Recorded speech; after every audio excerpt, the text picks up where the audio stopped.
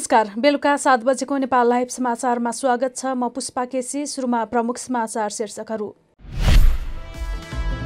युवाहरूलाई कतार पुलिसमा रोजगारीको प्रलोभन देखाएर अनधिकृत रूपमा अन्तर्वार्ता लिने तीनवटा म्यानपावर कम्पनीहरूको कारोबार रोक्का थालियो अनुसन्धान। थप अठाइस कोरोना संक्रमितको मृत्यु एक हजार तिन सय उनानब्बे पुगे मृतक काठमाडौँ उपत्यकामा आठ सय पैँतिस सहित एक हजार नौ सय अडचालिसजनामा संक्रमण दुई लाख छब्बिस हजार छब्बिस पुगे संक्रमित बालिका हत्याको विरोधमा घाइते बर्दिवास एकका बुद्धिराज न्युपानेको मृत्युपछि बर्दिवासमा फेरि चर्कियो आन्दोलन। आज बिहान नौदेखि बिहिबार बिहान छ बजेसम्मका लागि निषेधाज्ञा जारी। जापान सागर स्थित रुसी जलक्षेत्रमा प्रवेश गरेको अमेरिकी जलसेनाको जहाजलाई आफ्नो युद्ध तोपले मङ्गलबार लखेटेको रुसको दावी। जहाज ध्वस्त पारिदिने रुसको चेतावनी अमेरिकी जलसेनाद्वारा रुसी आरोपको खण्डन। र नेपाली राष्ट्रिय क्रिकेट टिमका पूर्व कप्तान Paras Khadka ICC associate player of the decade अवार्डका लागि मनोनयनमा। मनोनयनमा परेका खेलाडीलाई आइसिसीको वेबसाइटमा गएर भोट गर्न सक्ने।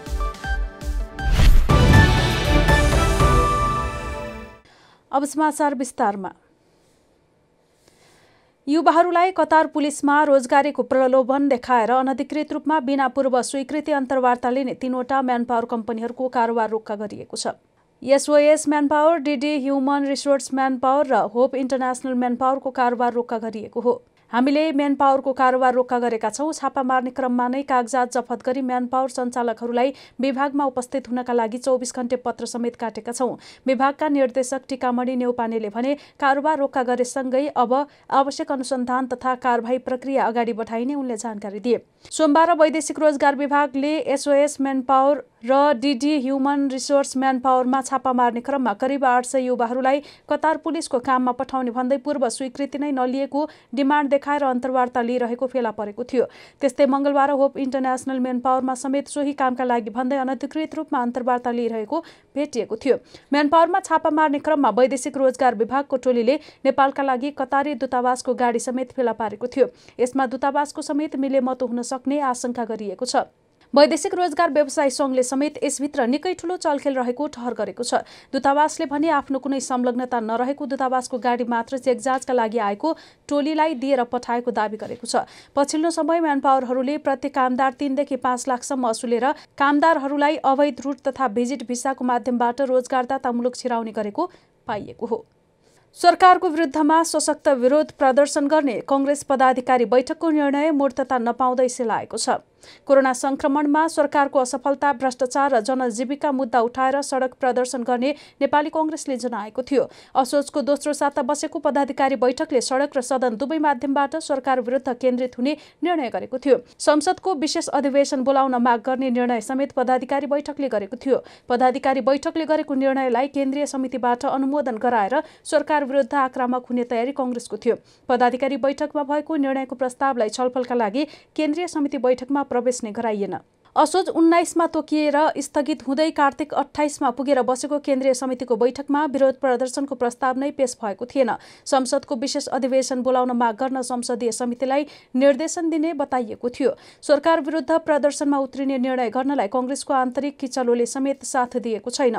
पछिल्लो समय सत्ता सहकार्यका लागि प्रधानमन्त्री केपी शर्मा ओली र सभापति शेरबहादुर देउबा बीचको भेटले सरकार विरुद्धको प्रदर्शन झनै टाढिएको आकलन गरिएको छ।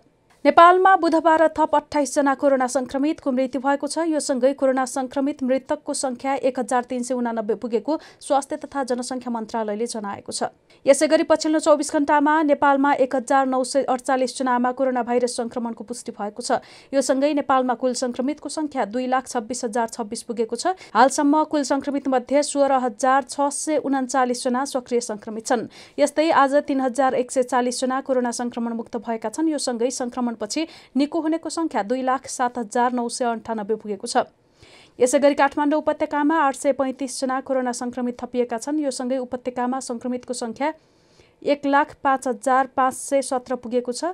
मन्त्रालयका अनुसार काठमाडौँमा छ सय पैँतिस ललितपुरमा एक सय तेह्र र भक्तपुरमा सतासीजनालाई कोरोना संक्रमण देखिएको छ।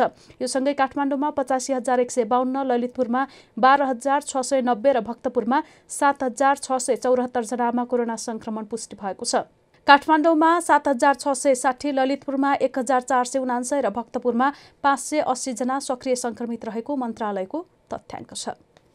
राजधानीलाई तराई मधेससँग जोड्ने द्रुत मार्गमा हालसम्म सोह्र अर्ब छैसठी करोड रुपियाँ खर्च भइसकेको छ। राष्ट्रिय गौरवको यो आयोजनामा प्रगति भने सोह्र प्रतिशत मात्र छ। द्रुतमार्गको निर्माण कार्य विभिन्न कारणले ढिला भएको भन्दै सेनाले हाल भने कामले गति लिएको र निर्धारित समय सीमाभित्रै निर्माण सकिने दावी गरेको छ। एसियाली राजमार्ग डिजाइन मापदण्ड उन्नाइस सय त्रियानब्बे अनुसार निर्माण भइरहेको पास फास्ट ट्र्याकको लम्बाइ बहत्तर दशमलव पाँच किलोमिटर हुनेछ। एसियाली राजमार्ग डिजाइन मापदण्ड अनुसार निर्माण हुने यो आयोजनाले विभिन्न व्यवधानको बावजुद हाल आएर गति लिएकाले समय सीमाभित्र निर्माण सम्पन्न हुने सम्भावना बढेको सेनाले जनाएको हो। सो डिपिआर अनुसार आयोजनाको अनुमानित लागत एक खर्ब पचहत्तर अर्ब रहेको र द्रुत मार्ग आयोजनाको निर्माण आर्थिक वर्ष दुई हजार अस्सी एकासीमा सम्पन्न गर्ने लक्ष्य लिइएको छ। सेनाले लामो समयसम्म डिपिआर उपलब्ध नहुनु र उपलब्ध भइसके पनि स्वीकृति हुन नसक्नु तथा अन्तर्राष्ट्रिय परामर्शदाताको छनौटमा हुन गएको ढिलाइ तथा कोभिड नाइन्टिनका कारण केही समय आशातीत गतिमा निर्माण कार्य अघि बढ्न नसकेको दावी गरेको छ।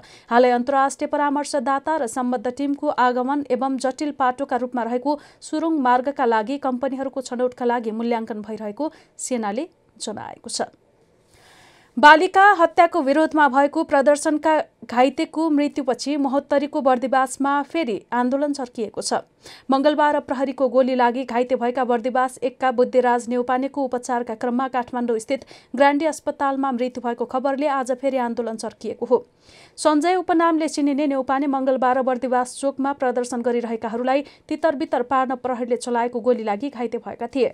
तत्काल हेलिकप्टरबाट काठमाडौँ लगिएका उनको मंगलबार राति मृत्यु भएपछि सो खबर फैलना साथ आज बिहानैदेखि प्रदर्शनकारीले राजमार्ग बजार र सबै व्यापारिक प्रतिष्ठान बन्द गर्दै प्रदर्शन जारी राखेका थिए। बर्दिवास चौधका शहीद आलमकी छ वर्षीय छोरी गुलवसा खातुनको हत्या गर्ने दोषीलाई कडा कारवाहीको माग गर्दै मंगलबार भएको प्रदर्शनमा चलाएको गोली लागि न्युपाने घाइते भएका थिए। न्युपानेसँगै घाइते भएका बर्दिवास पाँचका श्याम कार्कीको भने काठमाडौँमै उपचार भइरहेको छ। अर्का लाठीचार्जबाट घाइते भएका मृतक बालिकाका आफन्त आफ्ताब आलमको भने बर्दिवास चौध स्थित शुभ स्वस्तिक अस्पतालमा उपचार भइरहेको इलाका प्रहरी कार्यालय बर्दिवासका प्रहरी नायब उपरीक्षक राजन चापागाईले जानकारी दिए। आइतबार साँझ घर वरिपरिबाटै बेपत्ता भएकी बालिका गुलाबको शब सोमबार मध्यरातमा घर नजिकैको झाडीमा बोरामा राखेर फालिएको अवस्थामा प्रहरीले फेला पारेको थियो। बालिका अपहरण र हत्या घटना प्रकरणमा गौशाला नगरपालिका पाँचका छब्बिस वर्षीय अरुण कुमार शाहलाई प्रहरीले सोमबार साँझ नै पक्राउ गरेको हो। यसैबीच तनाव बढ्दै गएपछि बर्दिवासमा निषेधाज्ञा जारी भएको छ। जिल्ला प्रशासन कार्यालय महोत्तरीले आज बिहान नौ बजेदेखि बिहिबार बिहान छ बजेसम्मका लागि निषेधाज्ञा लगाउने निर्णय भएको प्रमुख जिल्ला अधिकारी कृष्ण बहादुर कटुवालले जानकारी दिए। हामी नेपाल लाइभ समाचारमा छौँ। अब अन्तर्राष्ट्रिय समाचार। जापान सागर स्थित रुसी जलक्षेत्रमा प्रवेश गरेको अमेरिकी जलसेनाको एउटा विध्वंसक जहाजलाई आफ्नो युद्ध तोपले मङ्गलबार लखेटेको दावी रुसले गरेको छ। आफ्नो जलक्षेत्रमा छिर्ने युएसएस जोन एस मक्केन नामक उक्त जहाजलाई ध्वस्त पारिदिने चेतावनी दिएको रुसले जनाएको छ। रुसका अनुसार उक्त जहाज पिटर द ग्रेट गल्फको जलक्षेत्रमा दुई किलोमिटरभित्र आएको थियो। तर अमेरिकी जलसेनाले रुसी आरोपको खण्डन गर्दै आफ्नो पक्षबाट कुनै गल्ती नभएको बताएको छ। अमेरिकाका अनुसार अमेरिकी जहाज कहीँबाट पनि निष्कासित भएको छैन। जापान सागरको सीमामा जापान रुस र दुई कोरिया छन्। रुसको रक्षा मन्त्रालयका अनुसार उसको प्रशान्त क्षेत्रमा खटिएको विध्वंसक जहाज एडमिलर भिनोग्रादोभले अमेरिकी जहाजलाई चेतावनी दिएको थियो। चेतावनीमा घुसपैठ गर्ने जहाजलाई बाहिर निकाल्न शक्तिको प्रयोग गर्न सकिने भन्नेको बताइएको छ। तर रुसको भनाइ मिथ्या भएको अमेरिकी जल सेनाको सेभन्थ फ्लिटका प्रवक्ताले बताएका छन्। समुद्रमा यस्तो घटना हत्तपत्त हुँदैन। यद्यपि गत वर्ष पूर्वी चीन सागरमा एडमिलर विनोग्रादोभ एउटा अमेरिकी क्रुजसँग झण्डै ठोकिएको थियो। त्यस घटनाका लागि रुस र अमेरिका दुवैले एकअर्कालाई दोषारोपण गरेका थिए। नेपाल लाइभ समाचारमा अब खेल समाचार। नेपाली राष्ट्रिय क्रिकेट टिमका पूर्व कप्तान Paras Khadka ICC associate player of the decade अवार्डका लागि मनोनयनमा परेका छन्। आइसिसीले मङ्गलबार सार्वजनिक गरेको मनोनयनमा पारससँगै स्कटल्यान्डका केल कोर्जर क्यालम म्याकलाउड रिची बेरिन्टन पपुवा न्युगिनीका असाद भाला र नेदरल्यान्ड्सका पिटर बोरेन छन्। आइसिसी एसोसिएट मान्यतामा रहेका देशका खेलाडीले एक दिवसीय अन्तर्राष्ट्रिय टी ट्वेन्टी र पचास ओभर लिग खेल विश्वकप छनौट जस्ता प्रतियोगितामा गरेको प्रदर्शनका आधारमा मनोनयन गरिएको आइसिसीले जनाएको छ। मनोनयनमा परेका खेलाडीलाई आइसिसीको वेबसाइटमा गएर भोट गर्न सकिन्छ। ICC associate player of the डिकेटका साथै ICC men's player of the decade women's player of the decade men's test player of the decade men's ODI player of the decade men's T twenty international player of the decade women's T twenty international player of the decade women's associate player of the decade spirit of cricket award of the decade जस्ता award पनि रहेका छन्। Nepal live समाचार सकिएको छ। समाचारको अन्त्यमा प्रमुख समाचारका शीर्षकहरू फेरि एकपटक। युवाहरूलाई कतार पुलिसमा रोजगारीको प्रलोभन देखाएर अनधिकृत रूपमा अन्तर्वार्ता लिने तीनवटा म्यानपावर कम्पनीहरूको कारोबार रोक्का थालियो अनुसन्धान।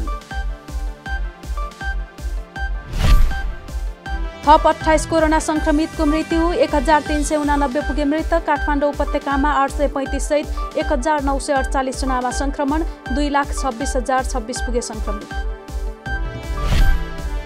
बालिका हत्याको विरोधमा घाइते बर्दिवास एकका बुद्धिराज न्युपानेको मृत्युपछि बर्दिवासमा फेरि चर्कियो आन्दोलन। आज बिहान नौदेखि बिहिबार बिहान छ बजेसम्मका लागि निषेधाज्ञा जारी। जापान सागर स्थित रुसी जलक्षेत्रमा प्रवेश गरेको अमेरिकी जलसेनाको जहाजलाई आफ्नो युद्ध तोपले मङ्गलबार लखेटेको रुसको दावी। जहाज ध्वस्त पारिदिने रुसको चेतावनी अमेरिकी जलसेनाद्वारा रुसी आरोपको खण्डन। र नेपाली राष्ट्रिय क्रिकेट टिमका पूर्व कप्तान Paras Khadka ICC associate player of the decade अवार्डका लागि मनोनयनमा मनोनयनमा परेका खेलाडीलाई आइसिसीको वेबसाइटमा गएर भोट गर्न सक्ने।